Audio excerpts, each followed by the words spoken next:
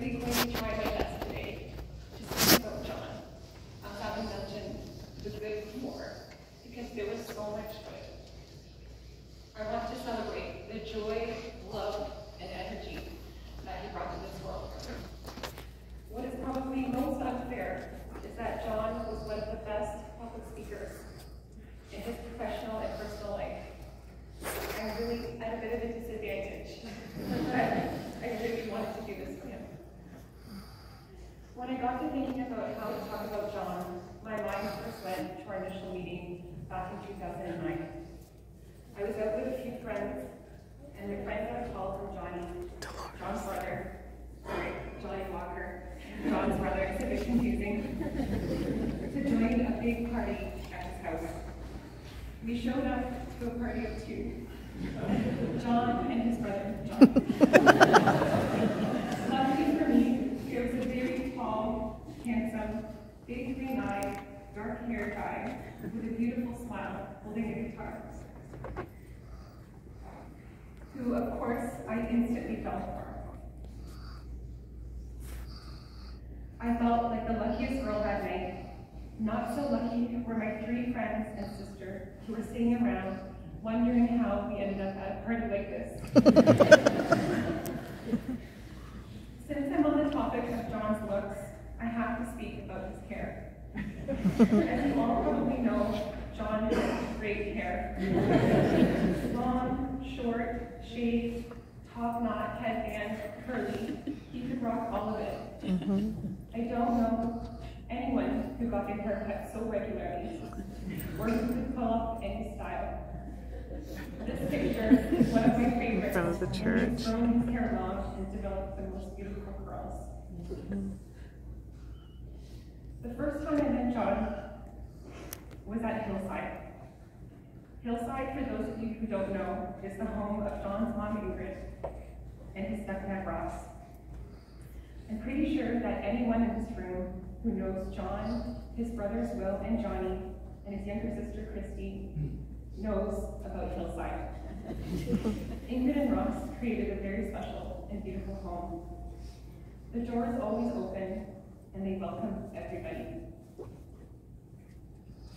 What is probably most special is the pictures on the wall and mementos of the kids growing up around the home, which demonstrates a real love for each other and their time together. John and his family spent much time together in their younger years the outdoors, attending Camp Ahmek in Ross's footsteps, camping trips, playing hockey, snowboarding. John could do it all. In John's own words, his mom and Ross supported him to explore every whim he had and made him who he was. The other thing you might notice about Hillside is the beautiful collection of books. John, like his mom Ingrid, loved reading. With his undergraduate degree, an honors, an honors in English literature from U of T, he was passionate about reading the classics. Most nights, I would turn over to find John asleep with his glasses on and a book on top of his face. he loved reading with Jackson. Reading brought him so much peace and relaxation. He also loved reading books about self-improvement. As most of you know, John is passionate about growth and putting his new learnings into action. Once he got something into his head, there was no stopping him. This reminds me most of when he was trying to become flexible enough to do the splits. All about the great stretches, how long to hold them for, and how often to do them, and would spend every night on the floor in the living room for months on end perfecting his skills. He would actually get away for sure. Felt like I had to. I was always in awe of his dedication to improving himself. It was contagious. And if you're curious, he did manage to do the side splits right before. Mm-hmm.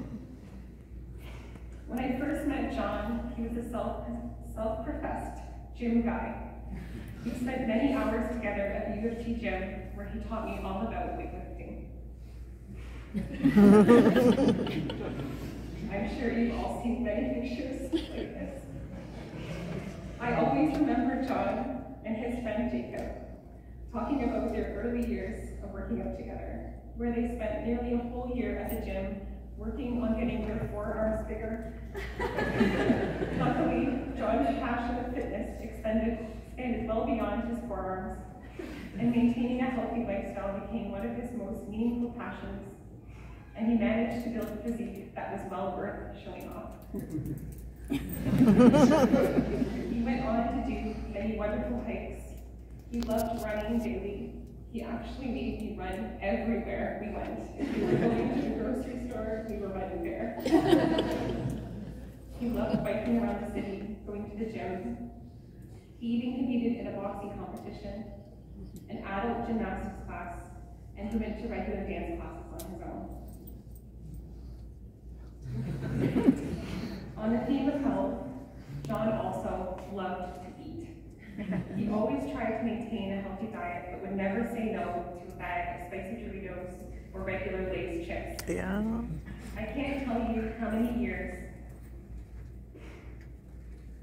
he started his morning with a bowl of steel-cut oatmeal and meticulously cut up apple and walnuts. And don't forget the Greek yogurt for extra protein. He was all about the protein. it often drove me crazy when the last piece of apple couldn't be added into the bowl because he already had just the right amount. One of John's favorite places to go was the Danforth. I can't count how many times he enjoyed Greek restaurants like Square Boys or Caligula. He was a real East Ender through and through. Growing up, John would often spend summers in North Bay with his dad, Bill. He often recalled many happy memories from his time there. His dad, like John, was passionate about music. I think it would be fair to say that most members of the Hillside clan are. It was quite often where you would hear Will, John's younger brother, spend hours of the night perfecting his piano skills. John was always ready to pick up a guitar or microphone and join in. The family has an annual Christmas tradition of singing Christmas carols, led by Ingrid at the piano, to say how special it was to be a part of this is an understatement. John's talent for creating music came as a performer, songwriter, and producer. His catalog of personal songs, ones he created with his original band, Johnny Alexander, and more recently, People Say Oh, are songs that will forever repeat and stay in my head. He was very inspired by artists that blended the sounds of gospel, R&B, soul, and funk. He was especially drawn to artists like D'Angelo and Michael Jackson. If you didn't know, he also played in a Michael Jackson cover band alongside his brother Will. And boy, did he rock it, wearing a bright red leather jacket, and of course singing and dancing to all the best songs.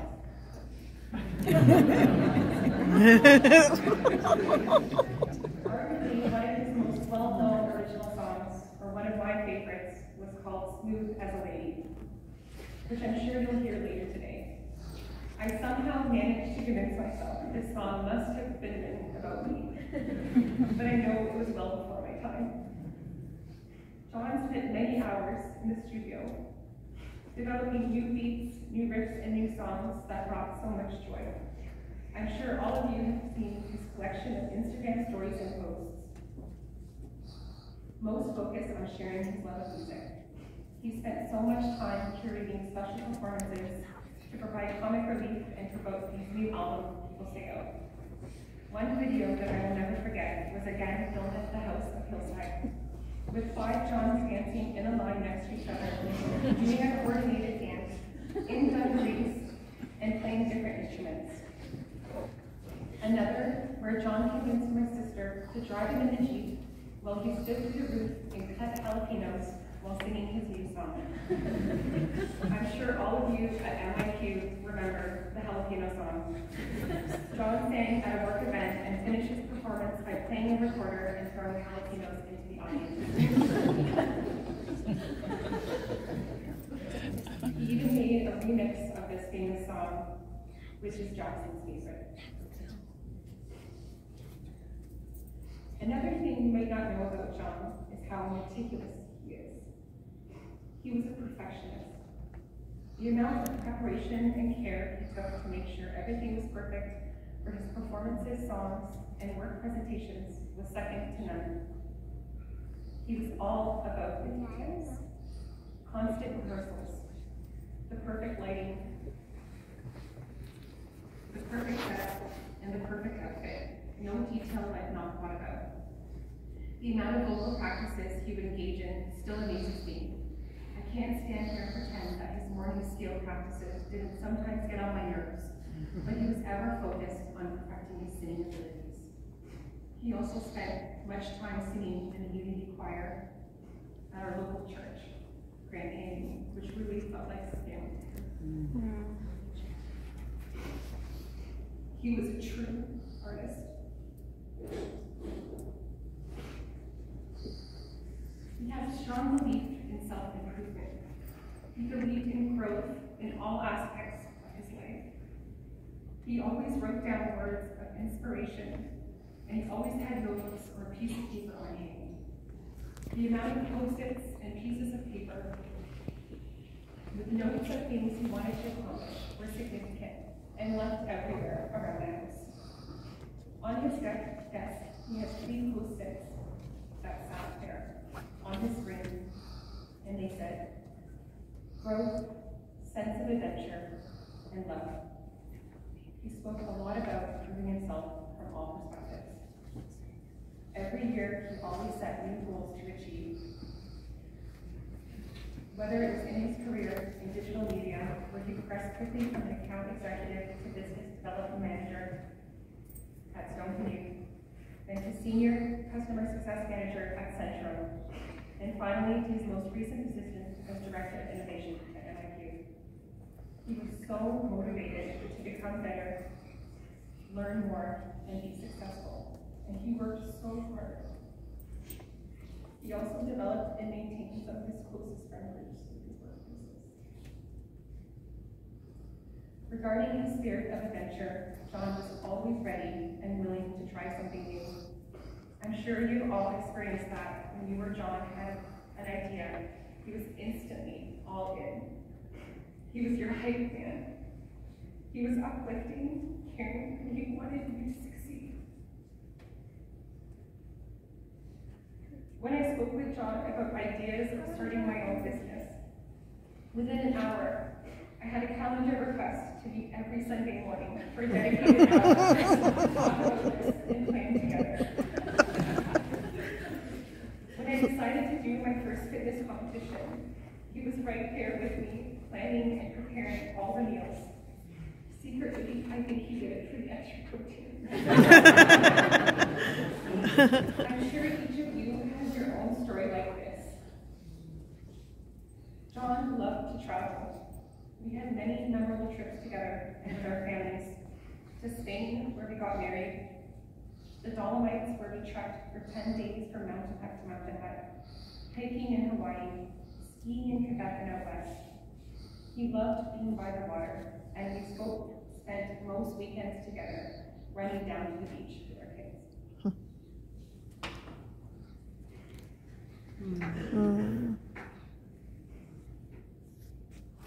John loved deeply. He cared for all people and was always willing to put his needs aside to fear something else. He was easy to talk to and could talk to any person in a room with ease. He was truly a bright light who made you feel better just for being around him.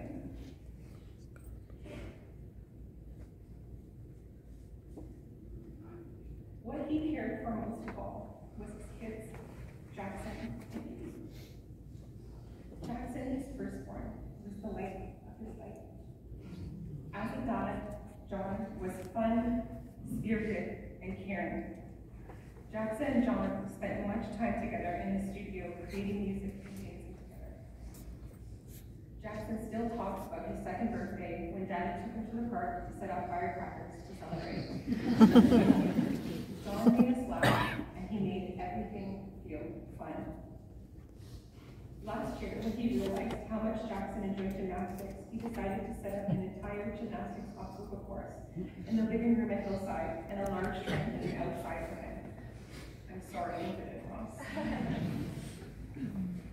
I'm so fortunate to have Jackson and Edie as constant reminders of John. They both have his beautiful big eyes, perfectly curved eyebrows, and curly hair. Well, I hope Edie's hair is heading in that direction. John, as a dad, was caring, fun, and deeply dedicated to his kids.